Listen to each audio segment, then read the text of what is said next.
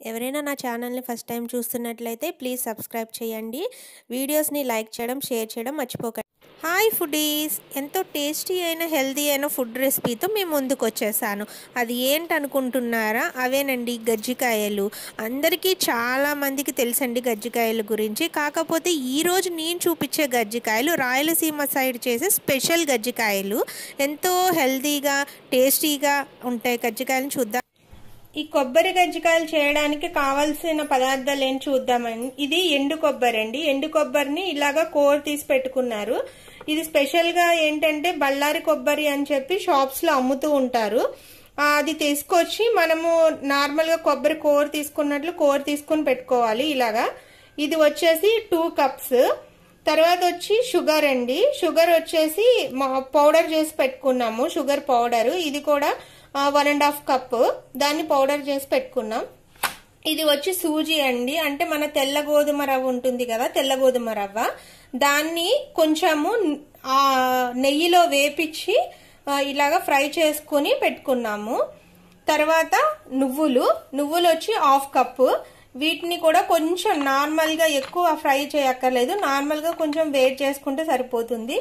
తర్వాత పల్లీలు. ఇవి కూడా హాఫ్ కప్పు పల్లీలను కూడా మొత్తం ఫ్రై చేసుకుని పొట్టు తీసుకుని పెట్టుకున్నాం. ఇది వచ్చి గుల్ల శనగపప్పు పుట్నాల పప్పు అని అని కూడా అంటుకుంటారు ఇది ఒక హాఫ్ కప్పు. తర్వాత సోంపి ఒక ఆరు యాలకలు. ఇవన్నీ కూడా మనము గ్రైండ్ చేసుకోవాలి. ఇది కూడా కొంచెం షుగర్లో వేసుకొని గ్రైండ్ చేసుకోవాలి. ఈ ఇలాగైతే షుగర్ మనం గ్రైండ్ చేసి పెట్టుకున్నామో అదే విధంగా దీన్ని కూడా గ్రైండ్ చేసుకోవాలి. చెప్పింది కదండి సోంపి యాలకలు ఏదైతే ఉందో దాన్ని నేను ఆల్రెడీ షుగర్ వేసుకొని ఇక్కడ గ్రైండ్ చేసి పెట్టుకున్నాను పౌడర్. ఆ పౌడర్ అండి ఇది. ఇప్పుడు వీటన్నిటినీ కూడా మామూలుగా మనము గ్రైండర్లో వేసుకొని కొంచెం గ్రైండ్ చేసుకోవాలి. అంటే ఈ పల్లీలన్నీ పెద్దగా ఉన్నాయి కదా ఇవి కొంచెం చిన్న చిన్నగా అవ్వడం గురించి మనం వేసుకొని కొంచెం గ్రైండ్ చేసుకోవాలి. ఇది పుట్నాలు కూడా ఇందాక చూపించాం కదండి. కొంచెం నార్మల్గా ఎక్కువ అవసరం లేదు. జస్ట్ కచ్చాబిచ్చాగా పొడి చేసుకోవాలి తర్వాత పల్లీలు కూడా నార్ కొంచెం ఎక్కువ గ్రైండ్ చేసుకోకుండా కచ్చాబిచ్చాగా అంటే మరీ పొడిలా కాకుండా కచ్చాబిచ్చాగా కొంచెం గ్రైండ్ చేసుకుని ఇవ్వాలి ఇప్పుడు వీటన్నిటినీ కూడా ఒక బౌల్లోకి వేసుకొని అన్ని మిక్స్ చేసుకోవాలి.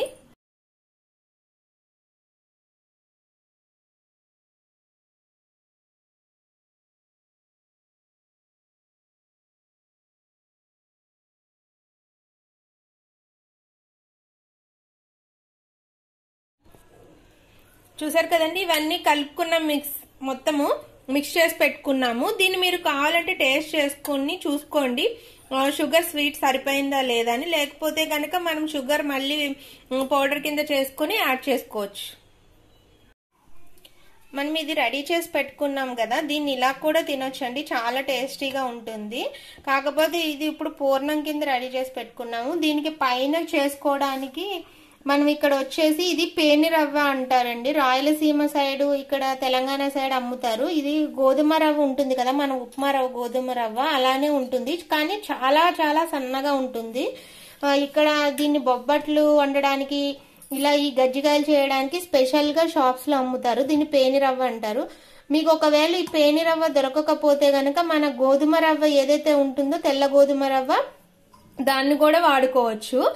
ఇది వచ్చి కొంచెము వేసుకోవాలి గోధుమ రవ్వ అనేది. తర్వాత దీనికి మైదా అనేది కలుపుకోవాలి. మనము ఈ పేనె రవ్వ ఎంత క్వాంటిటీ తీసుకుంటామో దానికి డబల్గా గో మైదా పిండి అనేది కలుపుకోవాలి.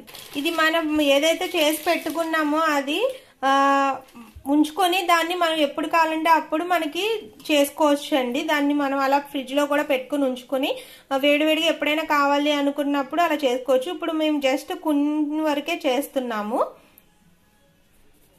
దీనికి కొంచెం సాల్ట్ అనేది యాడ్ చేసుకొని చపాతీ పిండి లాగా కలుపుకోవాలి. ఇలా మనం చపాతీ పిండి కలుపుకున్నట్లే కలుపుకోవాలి.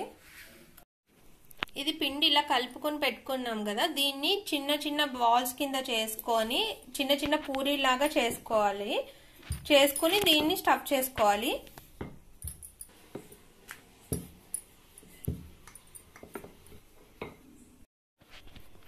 చూసారు కదండి ఇవి చిన్న చిన్న పూరీలాగా చేసి పెట్టుకోవాలి. ఇలా పలుచగా చిన్న చిన్న పూరీలాగా చేసుకోవాలి.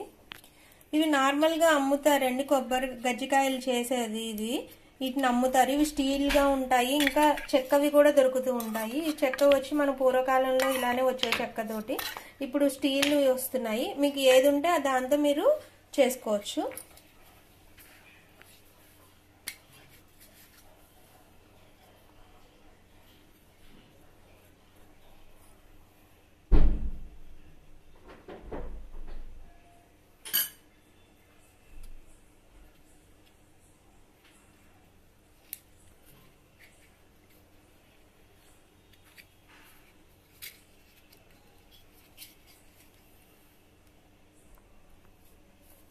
చూసారు కదండి ఎంత ఈజీ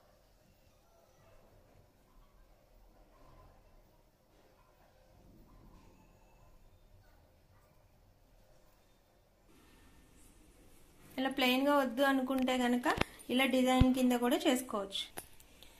చూసారు కదండి? ఇప్పుడు ఇలా రెడీ చేసి పెట్టుకున్నాము. వీటిని ఇప్పుడు మనము ఆయిల్లో డీప్ ఫ్రై చేసుకోవాలి. ఆల్రెడీ మేము ప్యాన్ పెట్టుకొని ఆయిల్ అనేది వేడి చేసుకున్నాం ఆయిల్ వేడిగా ఉంది. ఇప్పుడు వీటిని మెల్లిగా వేసుకుని డీప్ ఫ్రై చేసుకోవాలి.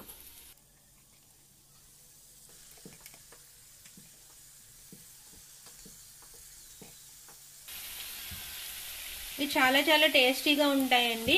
ఇవి ఇందులో పూర్ణం ఏదైతే పెట్టామో మనం దాన్ని ప్లెయిన్గా కూడా తినేయచ్చు. పిల్లలకి చాలా హెల్తీ అయిన ఫుడ్ అండి. ఇందులో కొబ్బరి వేరుశనగ గుళ్ళు పల్లి నువ్వులు అన్నీ వేస్తాం కదా. అన్నీ చాలా హెల్తీ అయిన ఫుడ్స్ చాలా చాలా హెల్తీ అయిన ఫుడ్ అండి పిల్లలకి. ఈ కొంచెము గోల్డెన్ బ్రౌన్ కలర్ వచ్చేంత వరకు వేయించుకోవాలి. చూసారు కదండి ఇవి బాగా వేగిపోయినాయి. వీటిని తీసుకొని మనము సైడ్కి తీసేసుకోవడమే.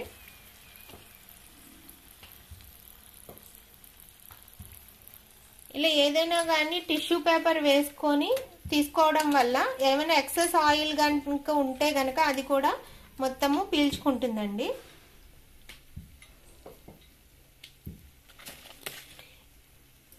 ఇవి వన్ మంత్ వరకు ఉంటాయి కాబట్టి మనం చేసి పెట్టుకున్నా కూడా ఎలాంటి ప్రాబ్లం ఉండదు. లేదు ఫ్రెష్గా ఎప్పటికప్పుడు చేసుకోవాలి అనుకుంటే గనక మనం ఏదైతే కలిపి పెట్టుకున్నామో దాన్ని పెట్టుకుని మనకి ఎప్పుడు కావాలంటే అప్పుడు మనం పూరిలా చేసుకుని కూడా చేసుకోవచ్చు.